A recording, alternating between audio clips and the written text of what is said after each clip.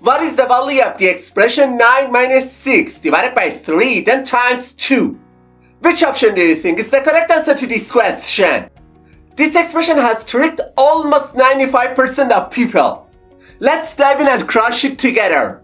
To solve this question, most people first go for the subtraction between 9 and 6 and they write this expression as 3 divided by 3 then times 2.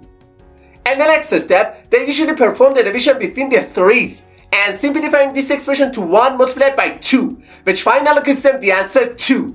And immediately, they quickly say that the correct answer to this question is option A. However, it's not the correct answer to this question. Also, some other people to solve this question first go for the multiplication between 3 and 2 because they think multiplication has a higher priority than division. So, they rewrite this expression as 9 minus 6 divided by 6. And the next step, they perform the division between the two sixes since they believe division has a higher priority than subtraction. And they simplify this expression to 9 minus 1, which finally gives them the answer 8. Then, without any hesitation, they quickly say that option C is the correct answer to this question. But this answer is absolutely wrong.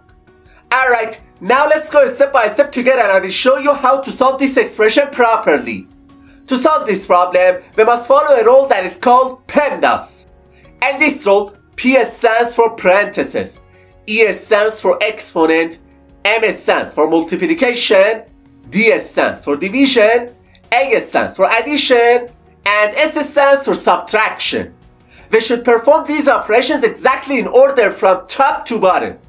Okay, According to the PEMDAS rule, we must start with the division and multiplication, because these two operations have a higher priority than subtraction.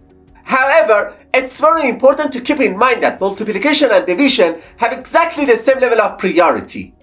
In this situation, the best approach is to start from the left and perform these two operations in order. So, first we perform the division between 6 and 3. And instead of the original expression, we can write 9 minus 2, then times 2. And the next step, we should perform the multiplication between the 2's, because multiplication has a higher priority than subtraction.